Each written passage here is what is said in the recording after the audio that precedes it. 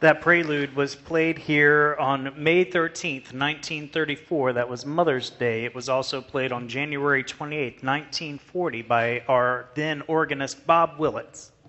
And he uh, went to a movie at the Temple Theater that Sunday afternoon after he played that. He saw Swanee. He saw Swanee.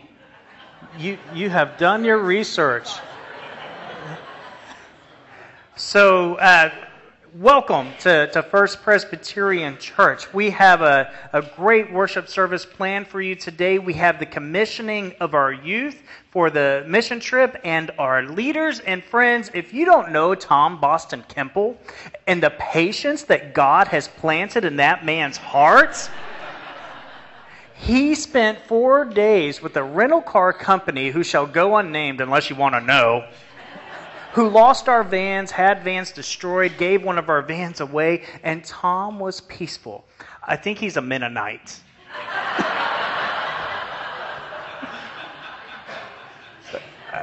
We'll ask you to bless us and pray for us and, and to send us on our way, but we're grateful for the work that he's put into planning this trip for us. And if the kids would come up during the offering, when the ushers come forward after the final collection, and, and come up as a symbol of offering your lives to God, and, and then we'll do our commissioning and your blessing.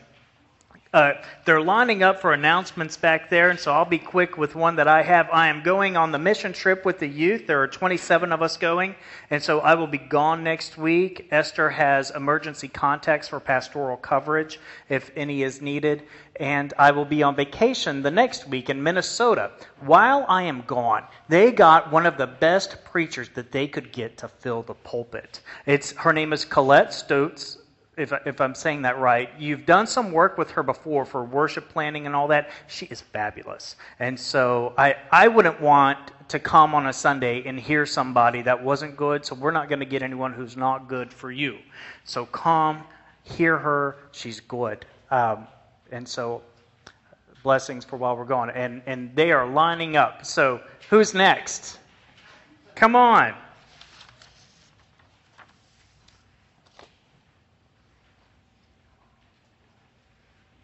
I haven't done this for so long, I have to have a cheat sheet. So if I look down, that's because I'm cheating. I'm pretty sure you all know this already, but just in case it slipped your mind, I'm here to remind you First Pres is getting a facelift, and the project is big. But just like any big project, it's going to start with a single building block.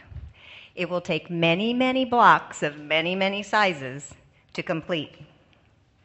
Today, we want you to choose a block from the basket. Amy, Leo, Dave, you're up now. Baskets will be coming down the aisles. Please choose a block.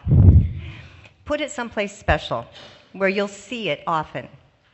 And use it to remind you to prayerfully consider what you can do for our building project. They're in the back. Sorry, Amy. Uh, what you can give to our building project. Our pledges, just like the blocks in the baskets, will come in all different sizes, and it will take all of them. All of our individualized, prayerful pledges to fulfill our dream. So remember, your block matters.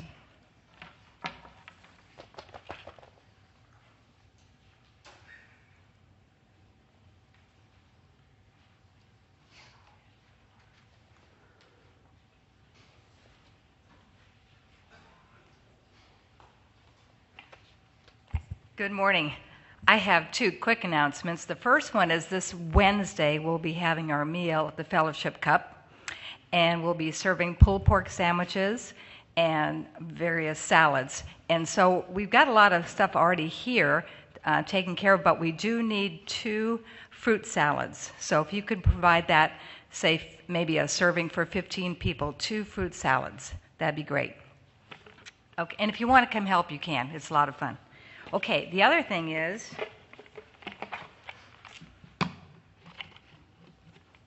Okay, but we are not we're not having bleach Wednesday. Okay, so just that was that announcement. This is a new announcement. Um, Vacation Bible School, August 3rd through the 7th. It's going to be a lot of fun. We have a lot of crafts, and the one craft that we're going to be working on, because it's kind of an outdoor theme, um, God's World theme, is we're going to be making um, bird bird feeders. I know these don't right now look like a bird feeder, but trust me, it's gonna it's gonna happen. And so we need maybe 15 or 20, and it could be any size, but this smaller one is pretty good because we're gonna have the kids cut it out and decorate it, and it's gonna be pretty neat. But I only have two, so if you guys could bring some to Esther sometime before um, Bible school, we'd really appreciate it. Okay, thank you. I'm gonna go turn the air down.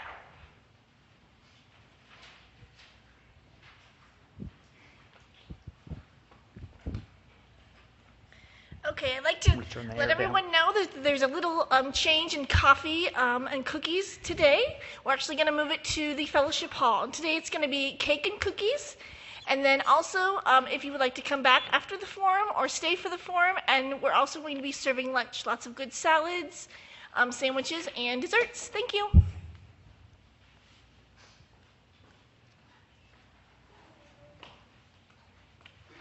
A message from your 175th committee, a reminder that we really want your written contributions for the booklet we're going to be putting together.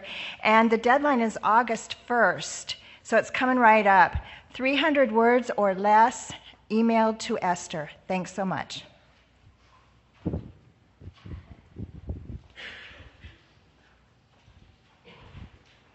Good morning. There were times this week when I did not feel very Mennonite like. however, patience does pay off, and uh, I am glad to say that Enterprise Rental Company uh, came through in that I did have to remind the manager, the regional manager, and the district regional manager that the safety and success of our trip was relying on the vehicles that they provided to us. And so our 315 passenger vans are truly, God knows where, somewhere in the country, but um, they have provided four minivans to us. It gives us 28 seats for 27 participants. Uh, however, uh, we do uh, have four luggage top carriers from the Kragers, Conrads, Hagers, and Kramers that uh, will help us squeeze everything in. And um, the bottom line is that Enterprise Rental Company said because of the terrible inconvenience that, and this is why I wanted you to know their name, uh, they are providing the four minivans free of charge to us. And so um, that allows us to give a greater contribution from uh, our participant fees and from the congregation to Heifer. And so that's a blessing that will uh, pay many times over in the uh, ministry and efforts that Heifer can do with that money. Um, needless to say, I am very excited to be taking 27 people from the congregation on a mission trip this week. Um, I, along with Karen and Trey and Leo and Maggie will be the adults providing leadership. However, we are also blessed to have three young adults who will be providing leadership as well. We have Levi Boston Kemple, Sarah Van Dorn, and Ellie Conrad. And then rounding out our leadership team, we have two returning Heifer grads who will be helping us with devotions and plans and activities in Hannah Stater and Caitlin DePriest. And so that is a wonderful group of leadership to be providing uh, for the activities and experiences for our delegation of 27 going to Heifer. We are down three, uh, four on our trip, and that is because of the success of, and we share in the joy of the girls' softball team here in Mount Pleasant. Uh, we could not be more proud of Callie and Annie Lichty and of Sarah Moffett for um, uh, leading the girls softball team to the state tournament this week, which will prevent their coming on the trip. But we share your joy, and we will figure out a way.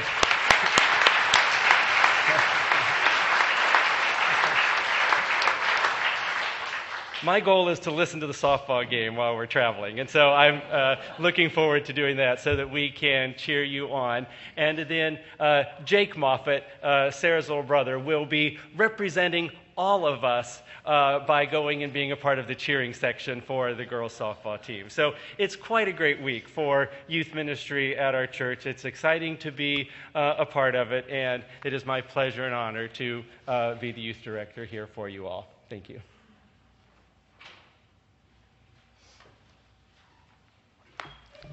Mary Beth Young wanted me to also mention the Summer Sax program. It's a great ministry that our church does. So she said if you don't contact her, she will be hunting you down or giving you a call. So let us stand as we're able for the call to worship. From near and far we gather. Here we are no longer strangers. Let us worship God. Opening hymn is number 288.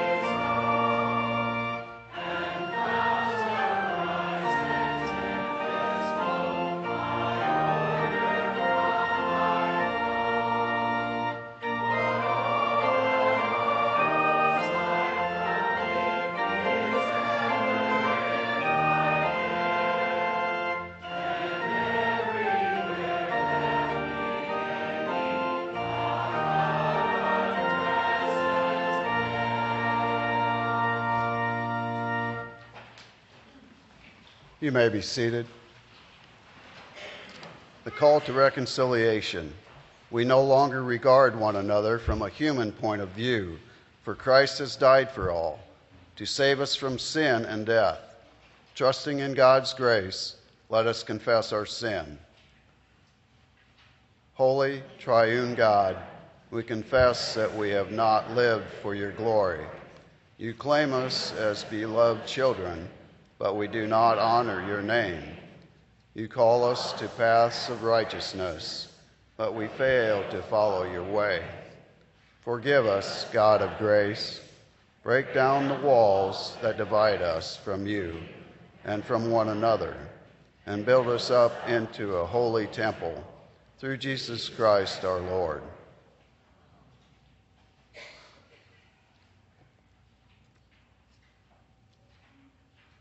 Assurance of pardon. If you are in Christ, you are a new creation. Everything old has passed away. Now everything is made new. In the name of Jesus Christ, we are all forgiven.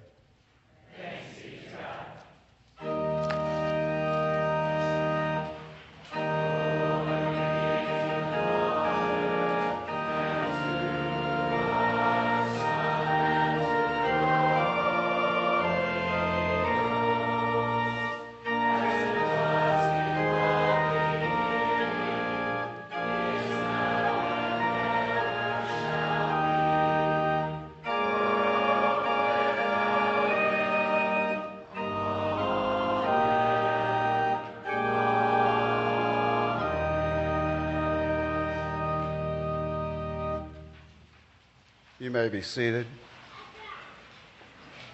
The prayer for illumination. Blessed are you, O God, for in your wisdom you have revealed to your people the mystery of your will. Now, by the power of your Holy Spirit, help us to hear and believe your word of truth, the good news of our salvation, through Jesus Christ our Lord. Amen.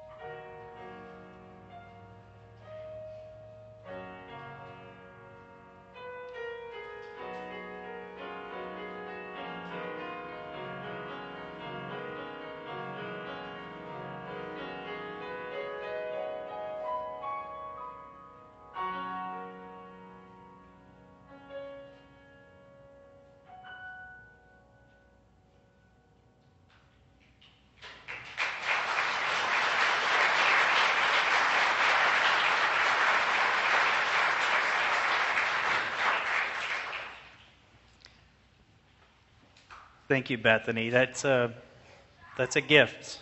Uh, I don't know, you couldn't see because you were playing, but everyone out here got to close their eyes for a bit and meditate and be taken away. That's a, thank you for sharing. So the disciples had been at it for some time with Jesus. They had walked from town to town proclaiming the kingdom of God, saying that the presence of God, the very presence of God from on high, has come here, has come near to each of us. Imagine the sore feet and the tired bodies of a good day's work. Some scholars debate how the disciples traveled around exactly from town to town. Some think that they were driven around because they were all in one accord.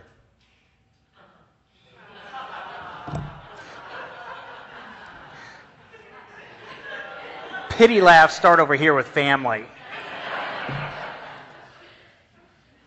But really, they had walked. They had walked sand in their sandals, and, and they, they had to be exhausted. And think about this they were probably mentally tired too, because along the way, Jesus was teaching them everything that he himself knew.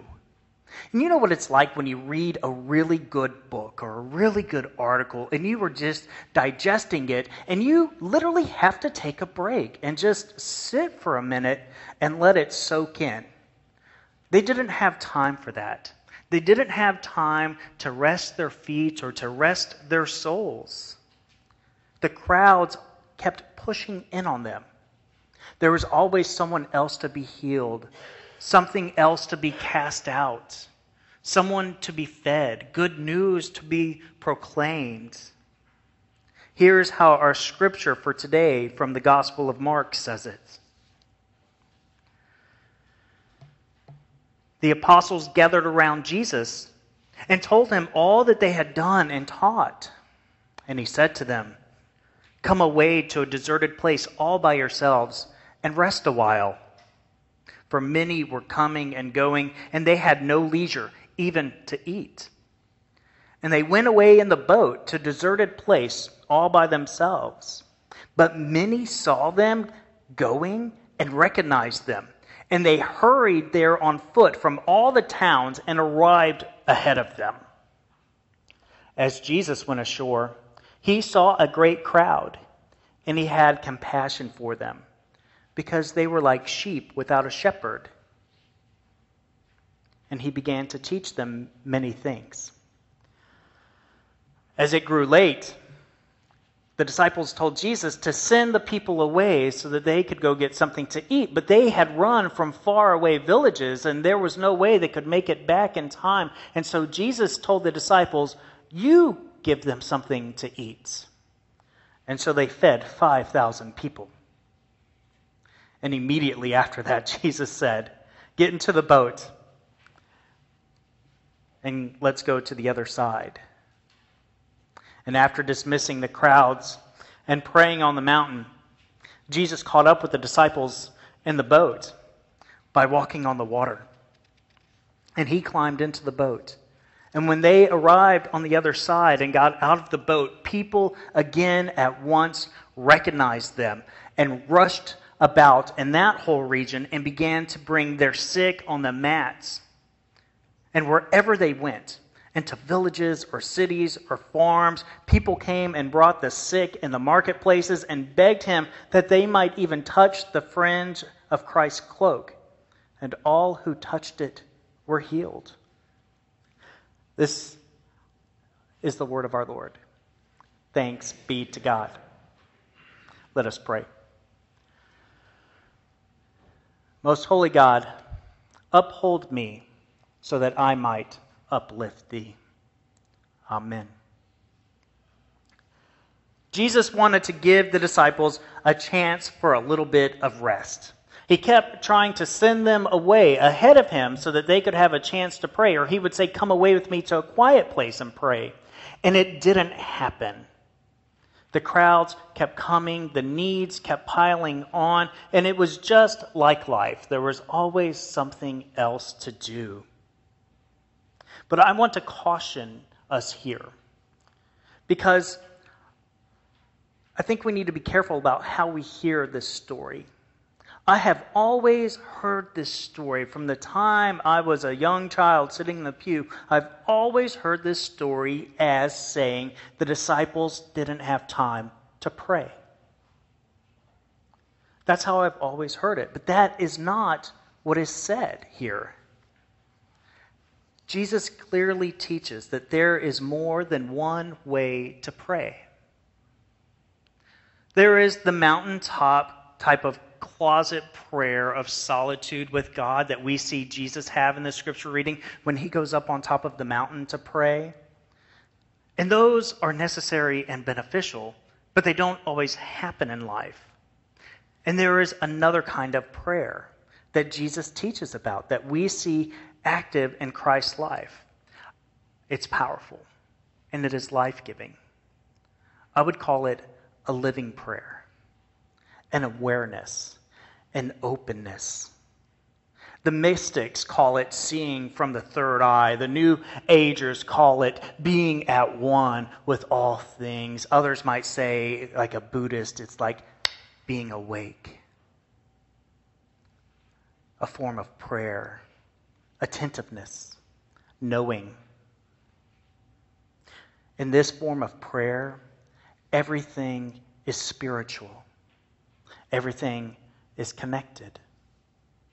There was a quote I read recently that said, Dear Lord, may I be awake and aware so that my every breath is a living prayer. See, being too busy to pray is a heresy. It's not true. We are never too busy to be awake and aware. As Jesus shows, a prayer can be a breath, a moment, a revelation, an awareness of the sacredness of the holy of life, a sunset, a child giggling, the love of a friend, the grass growing. I read a great article uh, from a scholar that I like to read sometimes named John Ortberg. And he opens uh, with this article on prayer with some very pointed questions. He says, How many of you ever feel guilty about not praying enough? And he says, Raise your mental hands. So mentally, I see a lot of hands going up, mine included. And he says, If someone were at a party and they were to ask you, How is your prayer life these days? which, by the way, is a great way to kill a party conversation. but what would you say? Is, is your prayer life, is the state of your prayer life determined by how often you pray, how long you pray? Is it measured by how many people you are praying for, or how much faith you exude when you pray, or how many of your prayers get answered? Prayer has an essential relationship to life, to the life of faith. But there is this mystery to it as well. And Ortberg says that many years ago he read some words from a book called To Believe is to Begin to Pray that changed his understanding of how prayer works and what prayer can be. Here are what some of those words say To believe as Jesus did doesn't just mean believing that God exists. It means to believe God is always present. That's a different level of awareness, which begins to turn all of our life, all of our actions, all of our words into a conversation with God, into a form of a living prayer. So in seminary, we would do this silly little game in the cafeteria uh, whenever it was time to pray. We would stick our thumb on the table. And the last one to stick their thumb on the table, the loser, had to pray. You'll see me do this in session meetings sometimes. it's not true what Ortberg says about this, because he did it too, I guess it's a common practice in a, in a lot of seminaries, is he said, yeah, we used to do that, and then we would sit there and pray after putting our thumbs on the table. The loser would say, Dear God, we are so grateful to be in your presence and, and to share this meal today. And Ortberg says, you know, I, I wonder what God would think. Like, if it's such an honor to pray in my name, why is it the loser that gets to pray? It's as if we think that God isn't present until we pray. And then when we pray, all of a sudden, God is there. That's how we often pray, isn't it? That God is only present when we pray. But Jesus never did this. Jesus knew his Father was listening, not just when he prayed, but all the time. He was aware. For Jesus, the line between praying and just speaking in God's presence thinned out to the point of disappearing. And Jesus comments on this when he is about to raise Lazarus. You remember that story? And he says, Jesus comes to the tomb, and after crying for his friend, he says, he begins to pray to God. He says, I thank you that you hear me. I know that you always hear me. But I have said this for the benefit of the people standing here. In other words, The goal of prayer is not to get good at prayer. It's, it's not to see who can spend the longest time in prayer or to see who can say the most words about prayer because Jesus said he doesn't like us to pray like those pagans do who like to heap up words and words and words and words and words. Uh, he says just pray to your Father in silence. The goal isn't to pray with more certainty or greater eloquence or greater frequency. The goal of prayer is to live life and to do all we do in the joyful awareness of God's presence at all times. The goal of prayer is to become aware of the Holy Spirit indwelling with all things at all times. It is to wake up. So, speaking of goals, we have set some big, hairy, audacious goals for the church. You may have heard of these goals. I call them the 50 and 5, the BHAGs, big, hairy, audacious goals, of 50 new members in five years, an increase to $50,000 in local and global giving in five years, and an increase of 50 50 covenant projects like the Sandwich Lunches or Habitat for Humanity in the next five years. It is good to have goals because they help us see how we are doing with our mission in life. And the purpose of any goal is, to, is the same to have an objective on which you can focus, a goal for which you can strive. And so, as a church, we have a mission and that is to glorify God and to show the love of Christ to our neighbors. And we measure that mission by meeting goals. And I'm proud of that because it leads to godly success. But we also need to set spiritual goals for your life. Now, I know many of you have all kinds of personal goals. I know some of you have very big goals in life, like cleaning out your mother's basement. Some of you have other more lofty goals like pursuing your education or going back to school or getting a promotion or changing the world or changing our community. And spiritual goals are no different than any other goal. It's like setting up a target for yourself, and it helps you mark the direction you are going. So, what is the spiritual goal that the church wants you to have for your life? It comes from our catechism. Catechism's that little book of instructions that we get that you were supposed to read in confirmation class. And the first statement in the shorter catechism says, Your chief end for being created by God is to enjoy God's creation. The first goal of your life is to wake up and enjoy. I read a quote that said, When we die and we go up to those pearly gates, the question isn't going to be, Why didn't you do more? Why didn't you pray more? Why didn't you love more? Why didn't you have more faith? Those won't be the questions. The questions will be why didn't you have more joy? I heard that, and it woke me up. All of a sudden, I started seeing things in my spiritual life in a little different way. The snuggles from Hudson, the church being the church walking around, putting out brownies, making phone calls, planning things. God at work, a sunset, joy.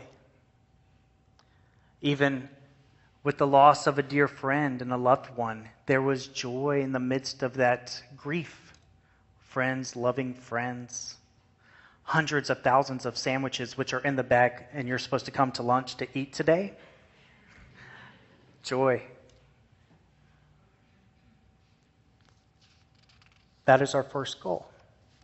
That is our spiritual goal to wake up and to have joy.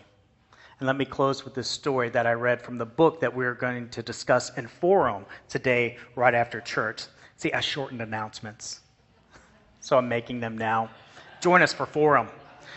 And you will hear about this book called Being Presbyterian in the Bible Belt. And here's a quote for it about waking up and enjoying. The author, Ted Foote, shares a story about the color purple from Alice Walker's novel, The Color Purple. He quotes the part about Celie, who was a woman beaten down by both her husband and by life circumstances. She has been despairing of ever knowing the goodness of life, being all but dead in the spirit. Then she meets another woman who has a grace based spirituality. This woman transformed the way Celie looks at the world around her. In a letter mailed back to her sister Nettie, Celie tells Nettie that God, God gets miffed if you walk by the color purple in a field somewhere and you don't stop and admire the beautiful flowers God has made. God, according to Celie, feels shortchanged when God's people don't stop and celebrate God's relationship, evident in the ordinariness of creation and life. So, my big, hairy, audacious prayer for you this week is that you may wake up and be aware and alive and enjoy the presence of God all around you and the snuggles, the sunsets, the blessings, and the tragedies, and in all things. And as the book says, don't leave God feeling miffed because you didn't enjoy the color purple. Amen.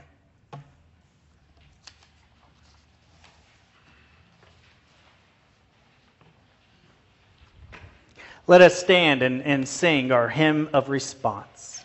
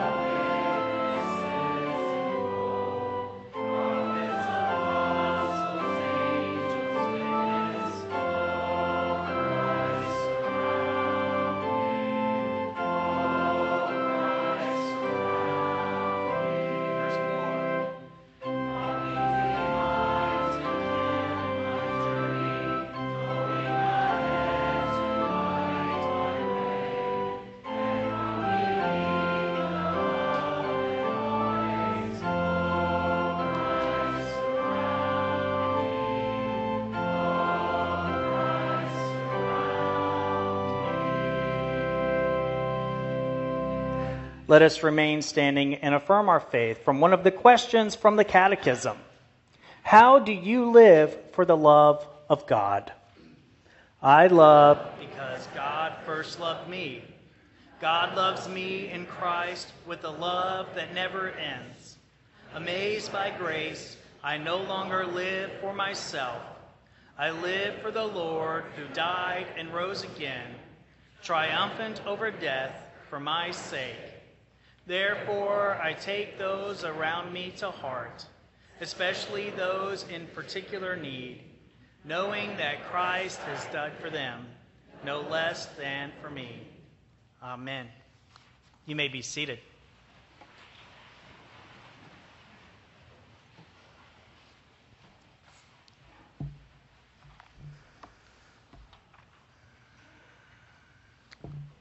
Please join me in prayer. Almighty God, who taught us to pray not only for ourselves, but for people everywhere, hear us as we pray for others in the name of Jesus Christ. We pray that you inspire the whole church with your power, unity, and peace. Grant all who trust you may obey your word and live together in love. We pray that you lead all nations in the way of justice and goodwill. Direct those who govern us, that they may rule fairly and maintain order, uphold those in need, and defend oppressed people, so that this world may claim your true peace. Give grace to all who proclaim the gospel through word and sacrament and deeds of mercy, to our teachers, to our servant leaders, our community leaders. We pray that through their service and their leadership that they may reveal your love for all people. Comfort and relieve, O Lord, all of those who are in trouble, who have deep sorrow, who suffer from poverty, sickness, grief, or depression. Heal them in mind, body, or circumstance, working in them by your grace wonders beyond all they may ever dream or hope.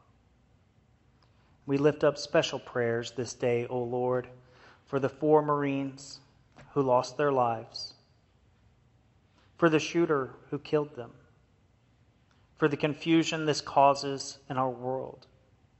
We pray that hate will stop, that anything that could be a weapon be smashed into a plowshare, so that seeds of hope are spread rather than the love of hate.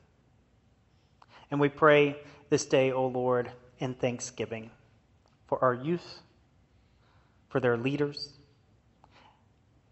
We ask for blessings upon them, and we ask for blessings upon our girls' softball team. May they beat Fort Dodge if they play them. May they be victorious, even in their losing, by playing for your glory, and may they enjoy their time. We pray all of these things in Christ's name.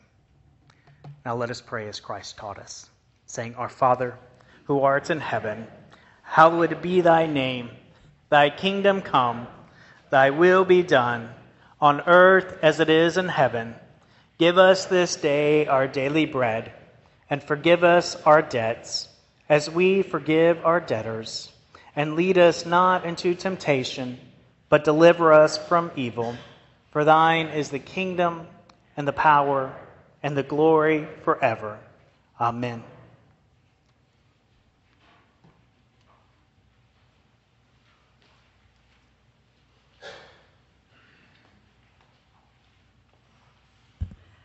Well, I'm going to just take a minute or two and talk about something from the 175th Anniversary Committee. And today we're going to talk about pews. And it's pretty short, but I thought maybe to make it more relevant, I'd ask you, you can show your hand or you can have a mental hand, is that called? Okay. okay, but I like this kind of hand. Okay, so how many of you guys usually sit in the same pew or near the same pew? Nice and high. Okay, so this is going to be pretty interesting. I was doing a little research, and I have been to the Old North Church, and I'm sure a lot of you have been there in Boston. And of course, Paul Revere has his, his own pew, and Samuel Adams, and, and all, you know, uh, ship captains, and just people usually that had, had a lot of money or um, prestige in the community. But even George Washington had his own pew, and kings and queens all over Europe. And their names were on them, and they would be handed down to the next generation so everybody could have their pew. And it was really rare for a woman to have a pew. Um, and there was one or two examples of when the husband died, then the woman would be bequeathed that pew. And so they'd kind of look at her like, hey, what are you doing down front? You don't belong here without your man. But anyway, um, and then in the up in the um, in the balcony, in the North Church. That would be for poor people to sit up there during the services, or uh, slaves or free freemen. But everybody else had to pay for their pew. So, aren't you glad you don't have to pay for your pew? It's pretty awesome. So this is this is kind of neat. Um, this is um, well, it just talks about what happened in 1857, and that's I think the only we were looking for other uh, instances where pews were paid for, but this is the one we did find. It says in early times too, the pews were rented, and the money collected in this way went to church expenses and the minister's salary. Hey. Very cool. so like cough it up, right? Yeah. In several of the congregational minutes, I noted that the trustees expected to raise $1,200 from the rental of pews, but I could not find anywhere the record of their actually receiving that amount. However, I did find this among some old church papers, and this is in quotes.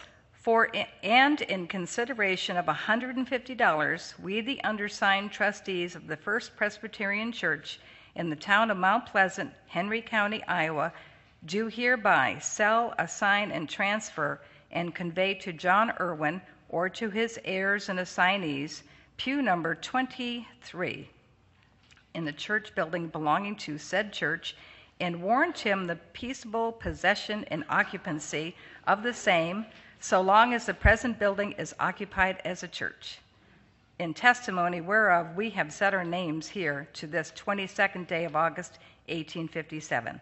Signed, James Craig. Were you there? Uh, Samuel Ross and U. B. Swan. This conveyance was acknowledged before a notary. Of course, there were some free pews.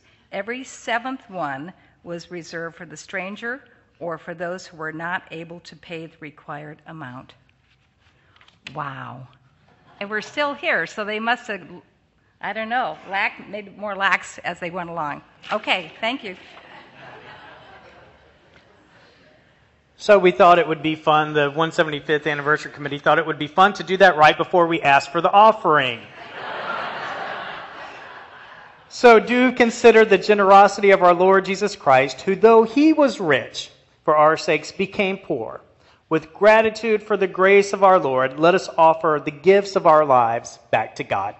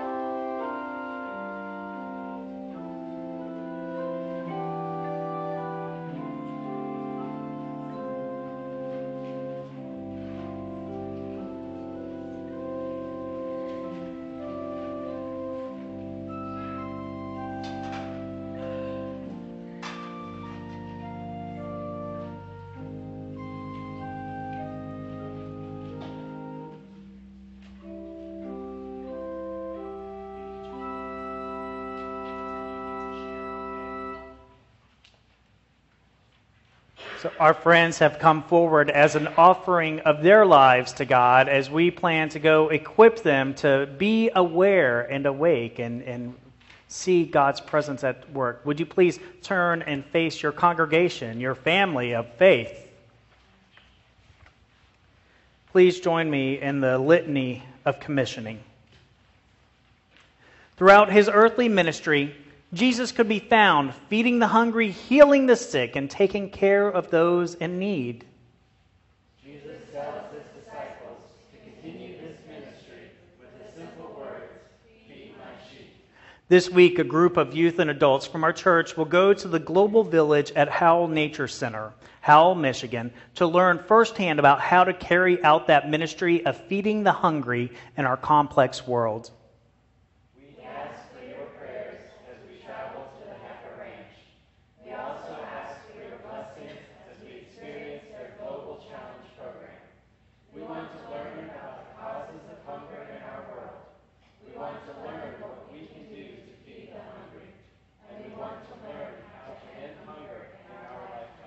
Congregation.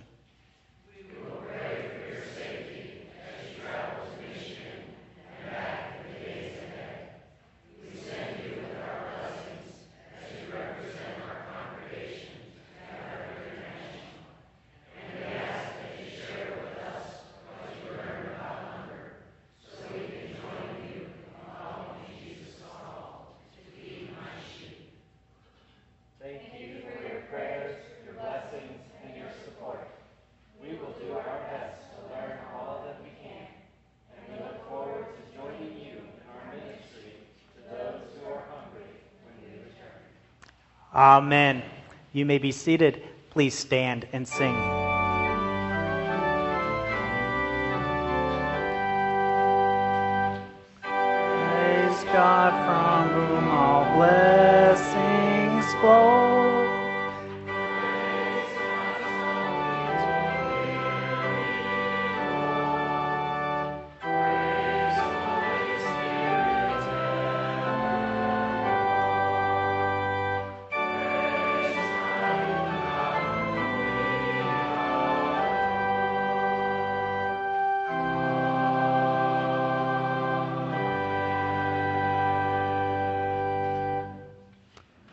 Let us pray. Generous God, we give you thanks for all your blessings to us. Use these gifts we offer as a sign of your great love for the world, so that all may know and share the abundance of your grace. In your holy name we pray. Amen.